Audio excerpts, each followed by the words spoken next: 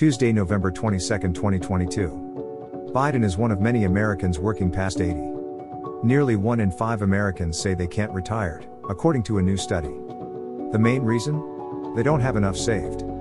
The survey of 5,000 adults found that the median retirement savings is just $50,000. And for many people, that's not nearly enough to last through their golden years.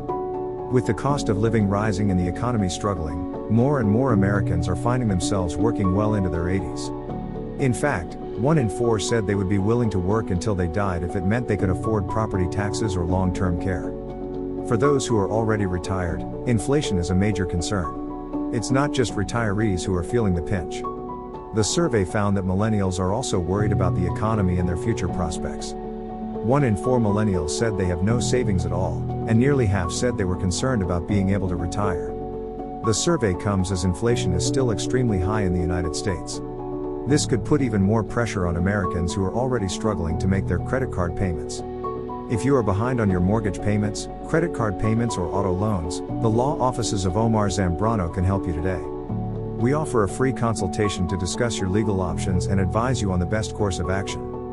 Call us today at 626 338 5505 to learn more about how we can help you get back on track.